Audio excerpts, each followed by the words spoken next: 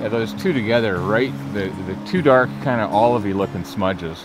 The one on the upstream side out looks a little bit bigger than the one on the on the rock in. Yeah, Moving, no eh? they are moving. Okay, rolling. Okay, so right in there. Let's see if anybody wants to eat that. Yeah. Oh, that was him right off the hop. Okay, here we go. Let's see if he drops out to the right. Here he comes. Top one dropped out. You see yeah, that? I saw that. Saw the movement right yeah. over. Okay, so right I'm just gonna flip it back in there Yeah. and see if he comes out again. I'm a little. I'm playing shy on this side, and he doesn't want to come that far. Oh, he dropped. I got him. Oh wow. Yeah, Okay. he dropped.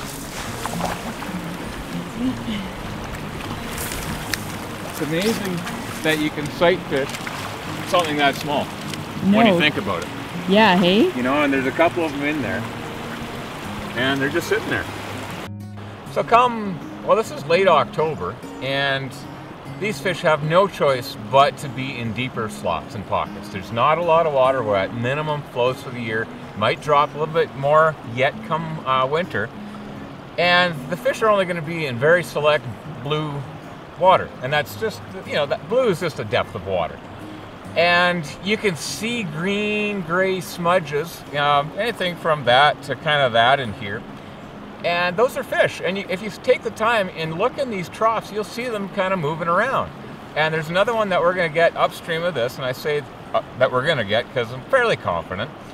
But all the setup is is your little bottom fly, and I go up about a foot and a half to my next fly, and that's just literally off an eight pound line, just little droppers, to a couple pheasant tails.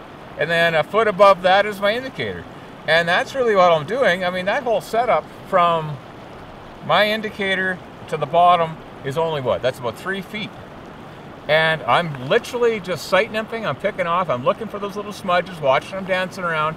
And I cast up and I let it drift on my side of the closest fish. That way I can drift in, catch it, pull them down because it's really cold water. They, they don't have a lot of energy, and you can pull them this way. And then guess what? That leaves the next fish kind of further out to, to target, and then it'll just be a sequence of, of targeting fish further and further out. And I think there's two or three here. We know there's two for sure. I thought I saw a third, and there might have been a fourth further over, but let's see how this goes. So let's go back and have a good look at what happened. Well, the truth is that my goal was to catch both of these cutthroat on the same setup. I knew I'd have to be careful with my casting because if I put my fly as an indicator too far upstream and across, my nymphs would drop deeper and I'd get the top trout first and possibly spook the lower outside trout. And of course, I made a bad cast and put my flies too far upstream and too far across, getting the take from the top fish right off the bat, but missed that take because I was watching for movement from the bottom fish instead of watching my indicator.